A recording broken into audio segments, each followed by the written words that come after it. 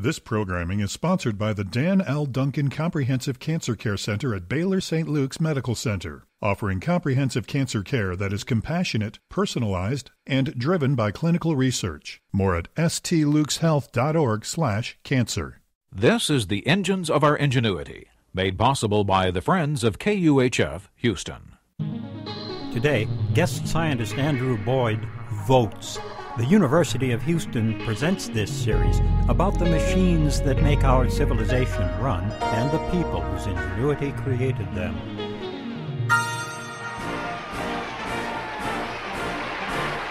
The 2000 presidential election between George W. Bush and Al Gore brought to our attention the problems involved with counting votes. Dangling chads notwithstanding, political scientists have long been aware that there are much deeper problems with voting systems, problems so fundamental they leave us scratching our heads and asking what's going on. Trouble first surfaced during the Enlightenment as Jean Charles de Borda and the Marquis de Condorcet debated the merits of different voting schemes but it was not until 1951 that Nobel laureate Arrow fully laid bare a problem that Borda and Condorcet had been struggling with. Borda advocated letting people rank each candidate with a number, adding the points, and choosing the candidate with the best total score we could view the method of voting we use today as a special case of Borda's method, where our favorite candidate receives one point and everyone else receives none. Condorcet, on the other hand, advocated a vote between every pair of candidates. The candidate that wins in every comparison is elected. The practical problem with Condorcet's method is that it may fail to produce a winner. We see this all the time in athletic competitions.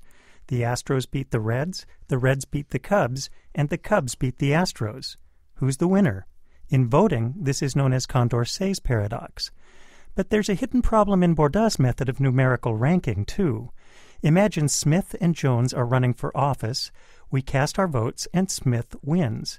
Now suppose a new candidate enters the election and we vote again. Even if we all feel the same way about Smith and Jones, we may find Jones now wins.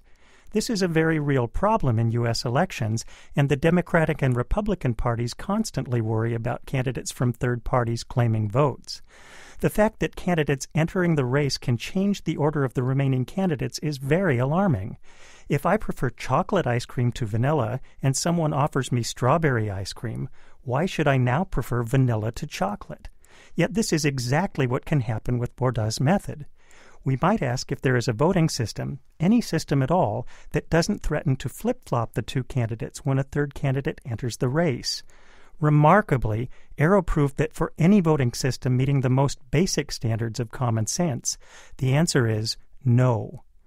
The implications for voting are stunning, but the impact of Arrow's work on economics and social choice goes far deeper. If we can't combine individual preferences in any reasonable way, can we even talk about society's preferences?